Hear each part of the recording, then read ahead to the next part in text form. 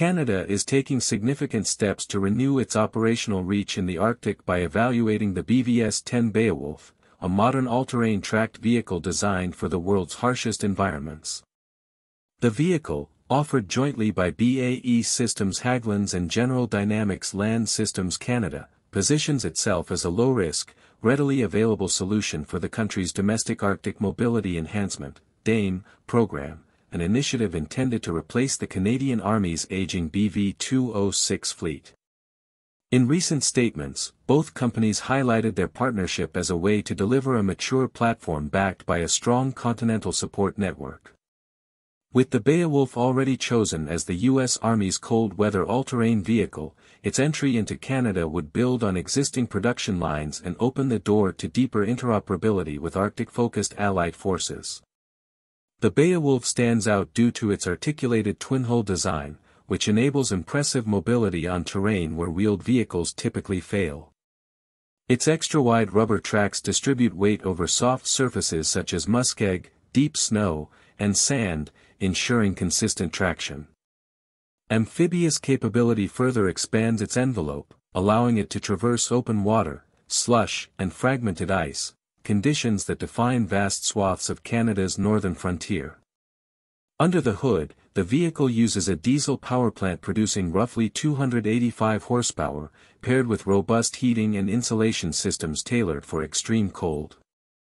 With the ability to operate at temperatures well below minus 40 degrees Celsius, the Beowulf is engineered for missions that require extended endurance, limited logistical support, and reliable performance across the Arctic archipelago. A payload capacity exceeding 5 tons and a modular interior configurable for cargo, personnel, or specialized mission kits give commanders considerable flexibility.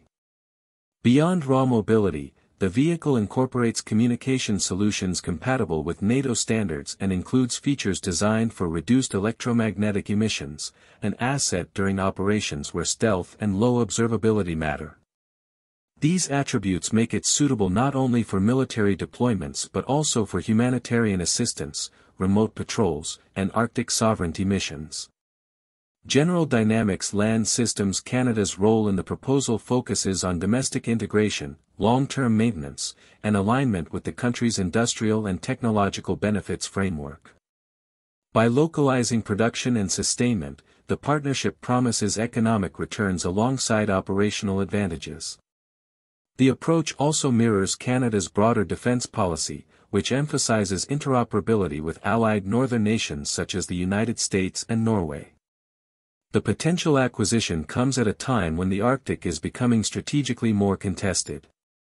Melting ice has opened new maritime routes and intensified interest in northern natural resources. As Canada expands its surveillance and response capabilities across this rapidly changing region, an adaptable vehicle like the Beowulf could play a central role in maintaining a persistent presence and supporting the recognized maritime picture and common operational picture in the high north. Ultimately, the Beowulf represents more than a fleet replacement, it symbolizes Canada's evolving strategy for addressing climate-driven challenges, safeguarding sovereignty, and ensuring mobility in one of the toughest operating environments on Earth.